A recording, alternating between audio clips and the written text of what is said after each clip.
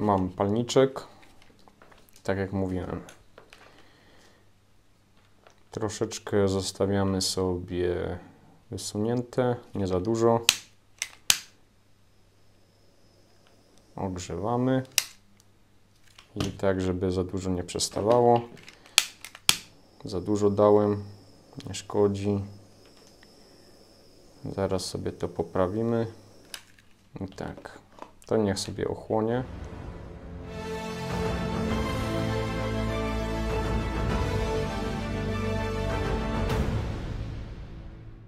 Te dobre termokurczki idzie troszeczkę jeszcze ścisnąć.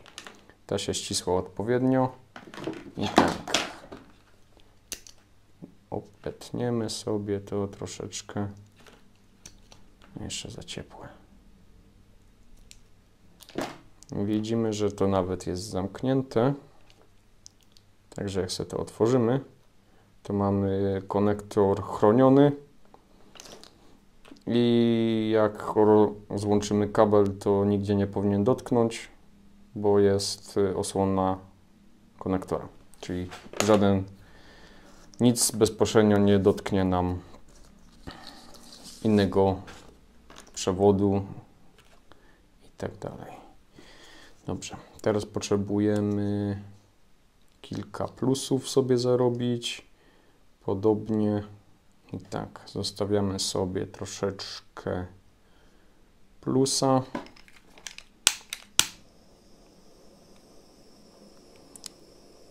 Jakbyście kupywali termokurczki, to zasada jest taka. Jest średnica nominalna i średnica po skurczeniu. Im mniejsza średnica po skurczeniu, tym lepsza termokurczka. Jak widać tutaj tak samo mamy od razu taką wargę na zewnątrz, która zapobiega zwarciom. I tu zrobimy sobie drugą stronę, a niech będzie innym kolorem. Tak samo sobie zostawimy troszeczkę wysunięte. I zaczynamy od tego, co nas interesuje, czyli ta strona. I lecimy sobie z drugą.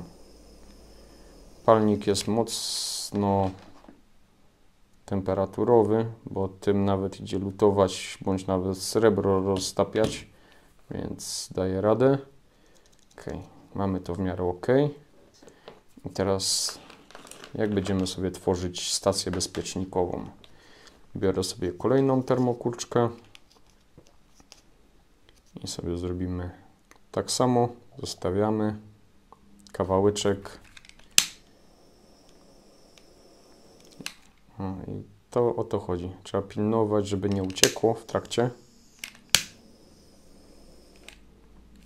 I w razie W można troszeczkę uciec tylko że gorące. Za dużo mi się nie uda, a jest naprawdę gorące. Lepiej, żeby za dużo przestawało niż za mało. No jest ok. I powiedzmy, że zrobimy sobie na tym samym kolorze. I tak, mamy bezpiecznik samochodowy. Wsadzę najpierw do tej strony, bo jest bardziej e, zimna i paluchów nie popalę. Mamy jedną stronę, mamy drugą stronę, ta jeszcze jest gorąca. Składamy sobie, bierzemy trytki. Mnie kolega nauczył zawsze trytki, jak sobie otwieracie, to nie ucinacie końca, tylko sobie na środku rozcinacie, nie, same nie wypadną. Wyciągnę sobie troszeczkę więcej, bo będziemy troszkę więcej tego potrzebowali. I najbardziej ekonomicznie wychodzi tak, że jedną stronę sobie przytrzymujecie i na przykład trzy razy owiniecie i to będzie fajnie trzymało, bo jest szersze połączenie, a zarazem jak będziecie ucinać, to macie tutaj dużą szerokość i mocno będzie trzymało, także jak tutaj będziecie szarpać, to tu się nic nie ruszy. No i tym oto sposobem mamy DIY konektor do bezpieczników samochodowych. I teraz tą czynność muszę powtórzyć trzy razy. E, te e, termokurczki, żeby tutaj pozakładać, też muszę porobić kilka razy. Tak samo jak te. Fajnie będą mi trzymać. Tak samo to będzie tutaj później fajnie trzymać na tych terminalach. I mamy też osłonięty terminal i to będzie trzymało i mamy osłonięte ile idzie. Więc biorę się za robotę i wracamy jak będę miał wszystkie przewody gotowe. Kabelki wszystkie gotowe. Jak widać DIY bezpieczniki samochodowe są zrobione. Warto brać uwa pod uwagę, żeby te bezpieczniki były e, jakieś markowe. Tu mam takie skrzyneczkę z różnymi. Można by było używać takie coś, tylko że to kosztuje kilka złotych za sztukę. Jak tam na jeden projekt to spoko, jak się robi tego setki, no to 100 zł czy więcej. To się średnio opłaca. Więc warto używać dobre bezpieczniki, które na przykład ten widać, że nie ma żadnych oznaczeń. O, na nim 25 A, może mieć 30, może mieć 40, może mieć 10. Warto używać takie, które mają jakiekolwiek oznaczenia, certyfikaty. Albo na przykład takie szybkie.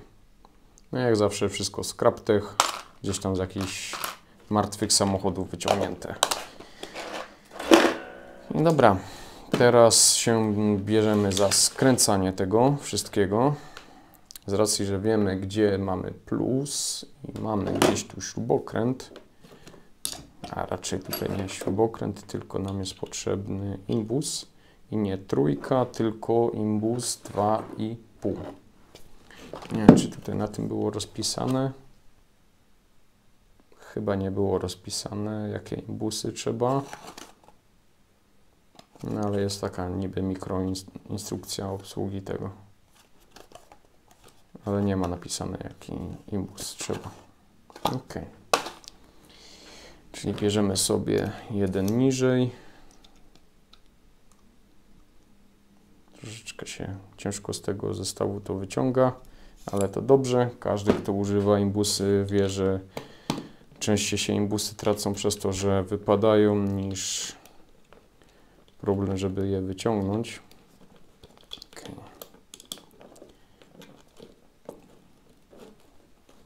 I sobie łapiemy jeden kręcę tą stroną. Jak widać. I mamy jeden plus.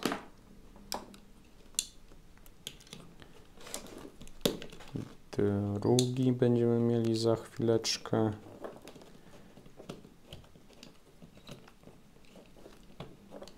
No chodź, tak. I samo lekko skręcone i mamy trzeci.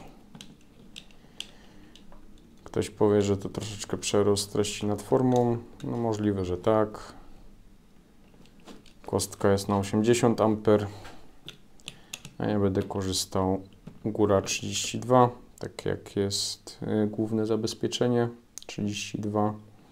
No ale lepiej trochę przewymiarować niż później płakać. Ok, mamy plusy.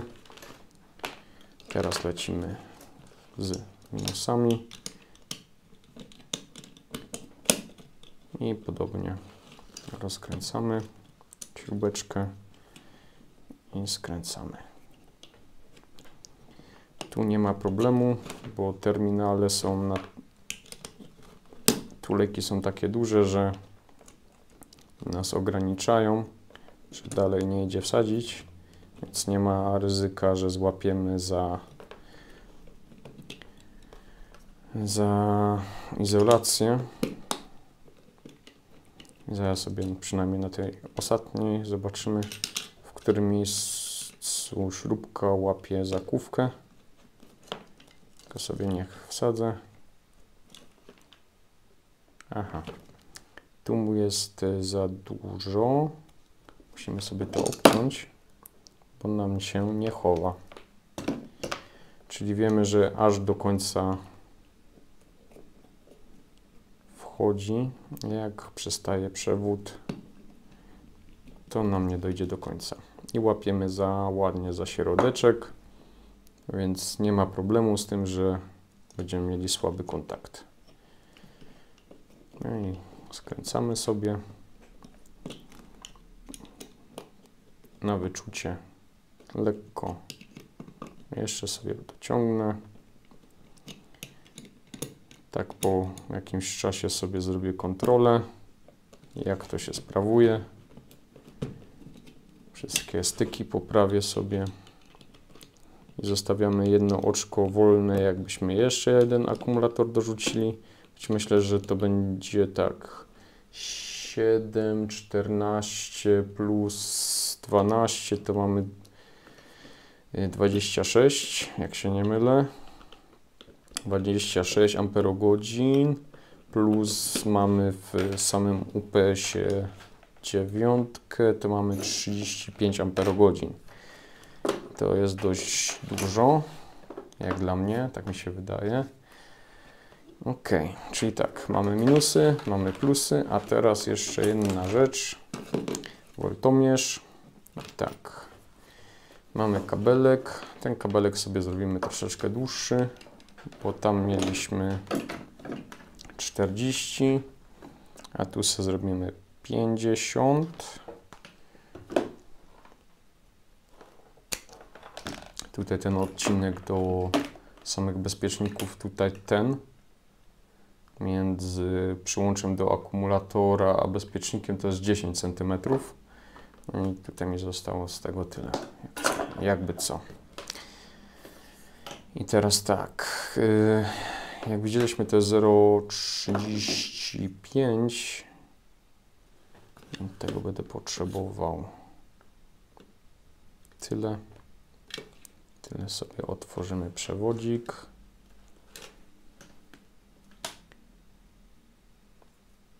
Wystarczy naciąć i w sumie ścisnąć. No i samo się potwierał. Przewód talkowany, jak widać. Teraz tylko lekko ponacinam. Dużo tam mięsa w środku nie ma. I sobie tak samo spróbuję to zacisnąć zaciskarką, a drugą stronę sobie okujemy. I ja potrzebuję mieć tak. Potrzebował tyle, żeby ładnie tutaj dojść z jednej strony na drugą.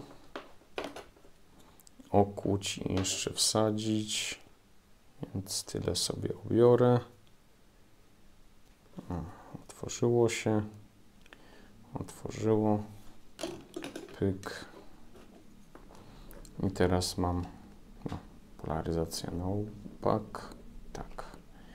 No i mam ładnie rozebrany kabelek. Później jeszcze sobie może jakąś termo, yy, nie termo, tylko opaską gdzieś to jeszcze złapię, żeby nie wyrwać przewodu później z styków, bo to jest takie naprawdę chudziutkie.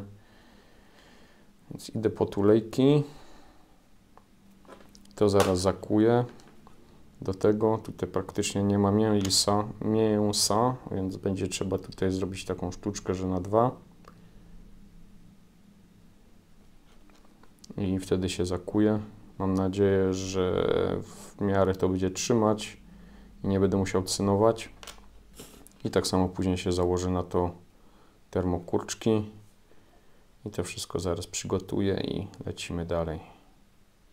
Bo to już będzie powtarzanie poprzednich czynności, a nie chcę, żeby to też wyszło w 15 odcinkach. Przewód mamy gotowy zakułem sobie, już słońce wychodzi, za niedługo nie będzie nic widać. E, zakułem sobie, co prawda połączenie może być troszeczkę słabe, dlatego też mamy tego przyrządasa, żeby zobaczyć, czy czasem coś nie poszło nie tak. I to się właśnie w takich momentach przydaje, kiedy musimy na pewno określić, czy przewód jest sprawnie wykonany. I co nam pokazuje jakąś dużą rezystancję. Czyżbym miał to źle zakute? 151 miliohmów. Aż tak dużo. Czyżbym musiał to na nowo kuć? Nie chce mi się, powiem szczerze. Będzie trzeba ewentualnie to dolutować. 151. A druga strona? Zobaczmy sobie, pyk. Dwie sądy muszą dotykać.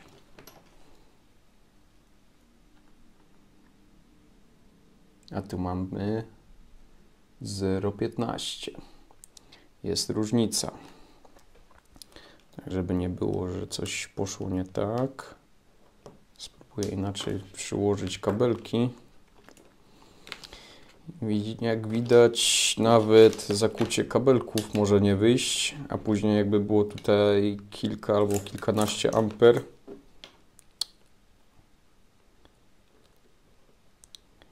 to mogłoby się to źle skończyć. Tylko teraz tutaj to jest takie małe i nie umie się trafić. Jakbym to nie przyłożył, a nie, przyłożyłem inaczej i mamy 0,15 jedna elektroda po prostu nie dowiera.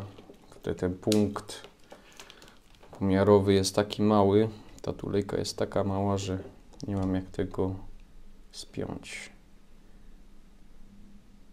Ona zaś mi pokazuje 150. Dziwne. Ok, jest ok. Czyli też źle mierzyłem.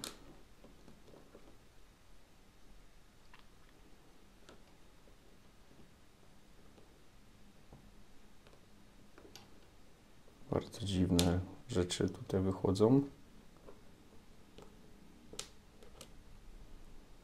Raz 150, teraz 15. Zamienię sobie przewody.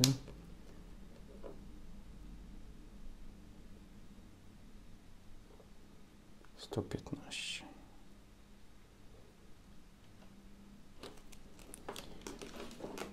Czyli co? Czekam dla pewności lutowanie.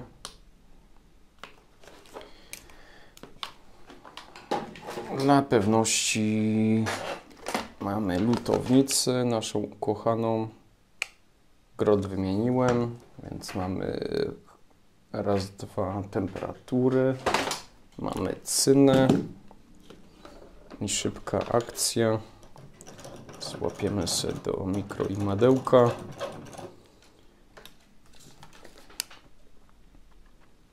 I szybka akcja. Dolutujemy się tutaj, tak żeby tam wciągło do środka. Z jednej strony i z drugiej strony.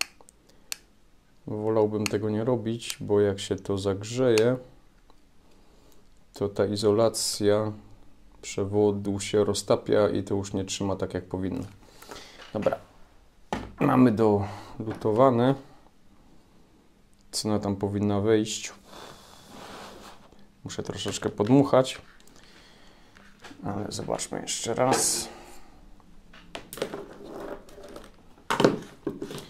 Co nam miernik powie.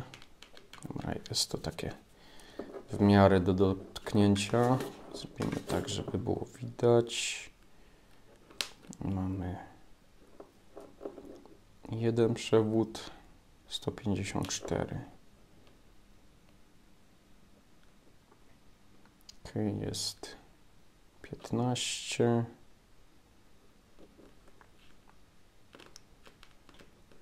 I drugi przewód muszę sobie dobrze celnąć, docisnąć. coś jest nie tak. Bo rozumiem. O, teraz łapało. Jest 15. Ok. Czyli uznaję, że jest dobrze. Z racji, że tutaj nie ma jak za bardzo tego zamontować, więc zrobimy to tak. Śrubki sobie ściągniemy.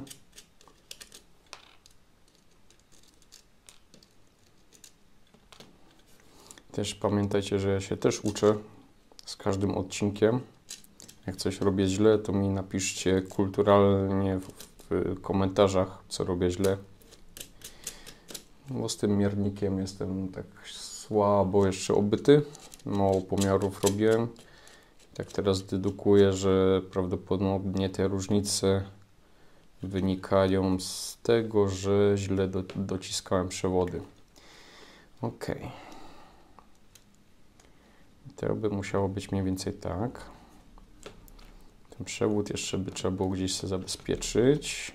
Czyli to by wyszło tak. I to sobie dociągniemy. Hmm. Najlepiej by był klucz paski, którego nie widzę. Więc prowizorka na ratunek. Mamy coś tutaj. Miałem tu gdzieś prowizorka na ratunek. No z wyczuciem.